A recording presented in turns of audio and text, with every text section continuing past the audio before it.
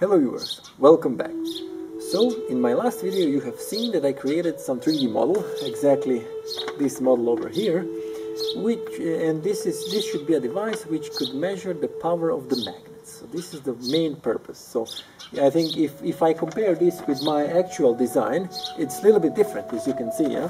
It would go something like this because this will be the guide and this will be the magnets. It will not be a vertical as I designed it, but, uh, but uh, horizontal as I designed, but it, it is actually vertical because it's much more easier to do the testing with the gravity and you will see why.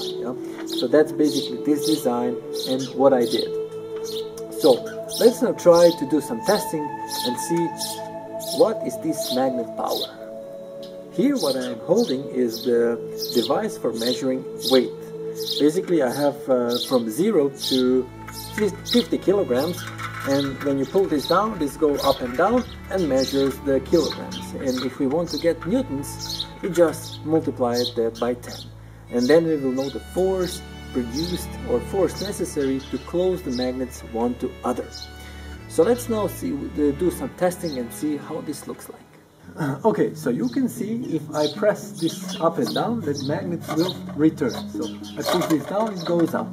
If I move this up and pull, uh, let it go down, it will go this up. So it will repel each other. So these, these are the strong neodymium magnets, yeah, N50, uh, uh N50 model.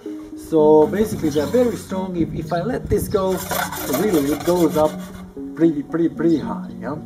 So what we will do now, yeah? so now what we can do basically is to measure, uh, to try to, to put some weights there to see when these two magnets will come one to, to the other.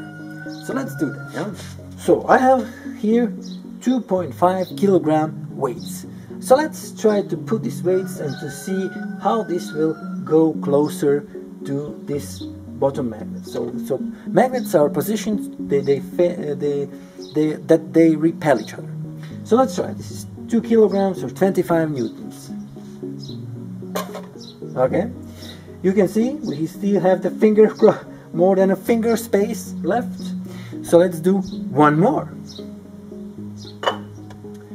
Okay, the magnets still hold, so the distance between them. Yeah? So let's do one more. Okay we still have let me do some zooming here. So we have stopped at so we have stopped at like uh, seven and a half kilograms. So let's put one more to have 10 kilograms.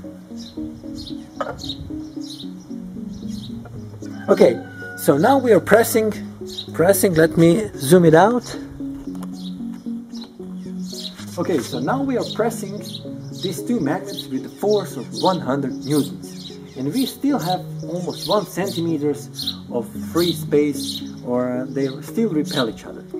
So if we want to do measuring, so I will now remove these magnets and just to try to use this this device and press this down so that we see how much really it's necessary to make these two magnets close one to the other when they repel each other. Okay, and now we are again at about 5 centimeters of space. So let me take now this the the weighting device and let's remove this top cap which is only for purpose of it. I mean you see when I removed it already passed a little bit higher. So let's let me try to measure now the force. So I'll put this inside.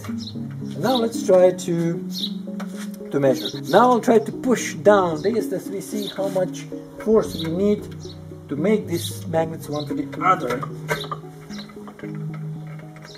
So I'm pressing with now 26 kilograms and I still cannot do it. Let me try once again. I have more than 25 kilograms. Okay, now I'm 30 kilograms and I still cannot press it. So 300 newtons are still not enough to make these two magnets. So actually four magnets because I have two magnets on the uh, on the bottom and two magnets on the top. So I made this force twice stronger than would be if I remove one magnet here and one there. So that's basically it. You can see that really, really high force it's needed to, to move this magnet. And if we make this up down, you can see really this is like a magnetic bearing. Yeah, so magnetic trains are working in a similar way, but they are using electromagnets, not the, the permanent magnets, because it would be too expensive to make 100 kilometers of the uh, railways with magnets. So they use electromagnets, but it's, it's the same the same thing. Yeah. So you can see it really it has really strong repelling power. So basically that's it. This is how we can measure the, the force of the magnet. And this invisible force is really beautiful. Yeah? You can see And, and what I say, it, it's an infinite potential energy because, you, you know, when you, this would never go down. Yeah? So this is like anti-gravity yeah?